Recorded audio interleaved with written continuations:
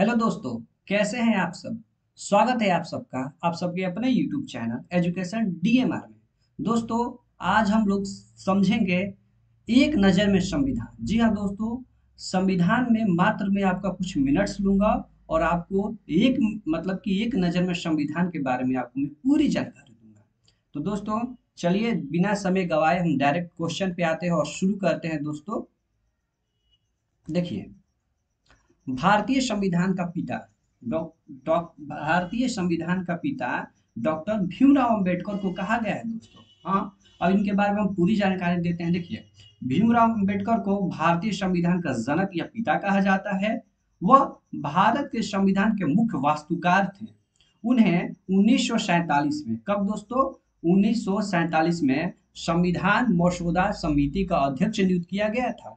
जी हाँ दोस्तों, उन्हें उन्नीस में संविधान मसौदा समिति का अध्यक्ष नियुक्त किया गया था। कब किया गया था उनको?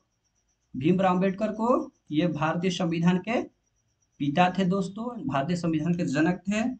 उनको, इन्हीं, इनको भारतीय संविधान के पिता या जनक कहा जाता है।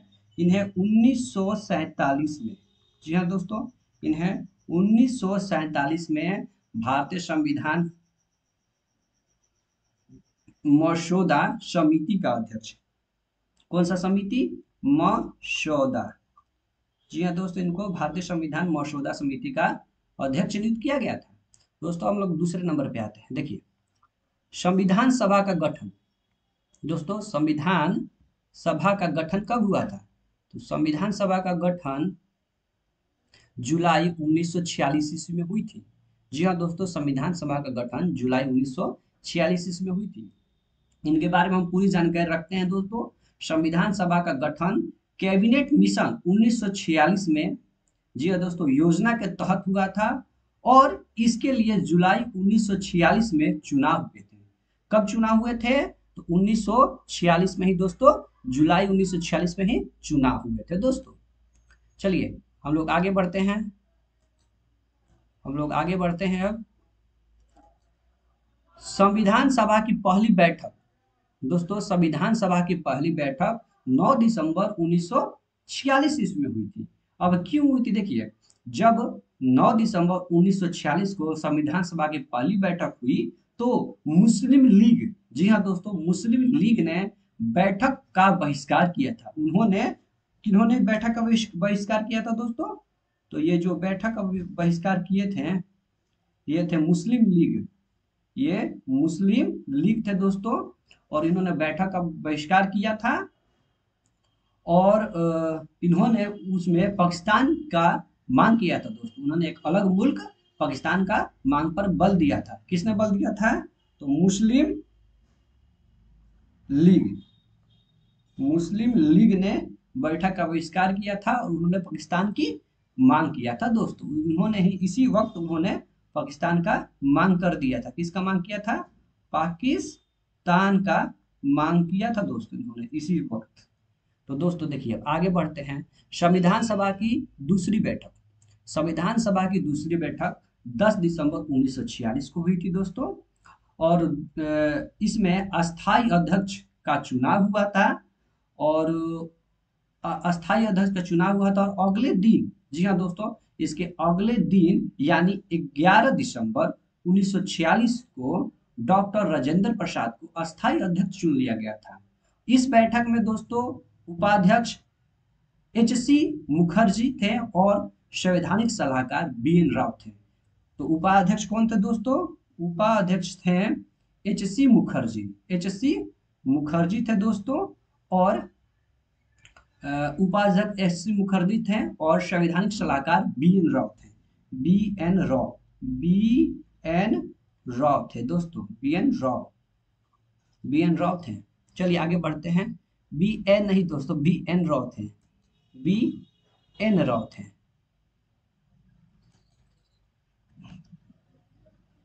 बी एन राव जी हाँ दोस्तों बी एन राव थे चलिए आगे बढ़ते हैं संविधान सभा की तीसरी बैठक। जी हाँ दोस्तों, हम संविधान सभा की तीसरी बैठक के बारे में समझेंगे। संविधान सभा की तीसरी बैठक 13 दिसंबर 1946 को हुई थी जिसमें नेहरू जी ने उद्देश्य प्रस्ताव पेश किया, जिसे संविधान सभा ने 22 जनवरी 1947 को, जी हाँ दोस्तों, जिसको संविधान सभा ने 22 जनवरी उन्नीस सौ सैंतालीस को अपना लिया था।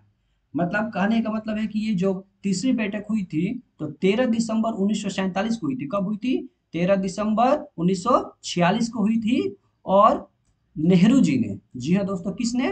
तो नेहरू जी ने एक उद्देश्य प्रस्ताव पेश किया था। कौन सा प्रस्ताव था दोस्तों? उद्देश्य प्रस्ताव था। उद्देश्य प्रस्ताव था दोस्तों। उद्देश्य प्रस्ताव था। प्रस्ताव पेश किया था और उसमें इसको कब स्वीकृति मिली थी? उद्देश्य प्रस्ताव को 22 जनवरी 22 जनवरी उन्नीस को दोस्तों, उन्नीस को इसको किया गया था। आगे बढ़ते हैं, संविधान सभा की अंतिम बैठक। जी हाँ दोस्तों, संविधान सभा की अंतिम बैठक 25 नवंबर उन्नीस सौ उनचास को, संविधान सभा की अंतिम बैठक 25 नवंबर उन्नीस सौ उनचास को आखिरी बैठक में बाबा भीमराव अंबेडकर जी हाँ दोस्तों, जिसको हम लोग संविधान का जनक कहा जाता है, डॉक्टर भीमराव अंबेडकर तो बाबा भीमराव अंबेडकर ने समापन भाषण दिया था। जी हाँ दोस्तों, समापन भाषण दिया था और बाबा साहब उस समय उस समय जिन चुनौतियों को राष्ट्र, जिन चुनौतियों को राष्ट्र बहिष्कार मतलब सॉरी राष्ट्र निर्माण में सॉरी राष्ट्र निर्माण में बाधक करार दिया था, वो आज भी दोस्तों बहुत सारी चुनौतियाँ जो है, आज भी मौजूद हैं। तो हम लोग आगे बढ़ गए यह 25 नवंबर उन्नीस सौ उनचास के बारे में मैंने आपको बताया कि क्या हुआ था। तो बाबा भीमराव अंबेडकर जो है, एक भाषण दिए थे और जिन मुद्दों को भाषण दिए वो आज भी मौजूद है दोस्तों। इसको थोड़ा सा हम लोग इरेज कर देते हैं। ये हमको ज़्यादा हो गया है। चलिए इसको इरेज कर देते हैं दोस्तों। आगे बढ़ते हैं। आगे हम लोग बढ़ते हैं। देखिए, संविधान को लागू किया गया सॉरी संविधान सभा का अंतिम बैठक गया होगा। इसके बाद संविधान सभा को पारित किया गया जी दोस्तों, संविधान सभा को पारित 26 दिसंबर उन्नीस को किया गया था। तो एक संविधान सभा थी, उसको पारित कर दिया गया था 26 दिसंबर उन्नीस सौ उनचास को। अब देखिए, आगे बढ़ते हैं। इसमें छब्बीस दिसंबर, उसमें कुछ विशेष नहीं, संविधान सभा को पारित किया गया था, संविधान को सभा को पारित, संविधान को नहीं, संविधान सभा को पारित गया था। आगे बढ़ते हैं। संविधान को लागू किया गया। जी हाँ दोस्तों, संविधान को लागू 26 जनवरी 1950 को किया गया। जी हाँ दोस्तों, संविधान को लागू 26 जनवरी 1950 को किया गया था। अब देखिए देखिए।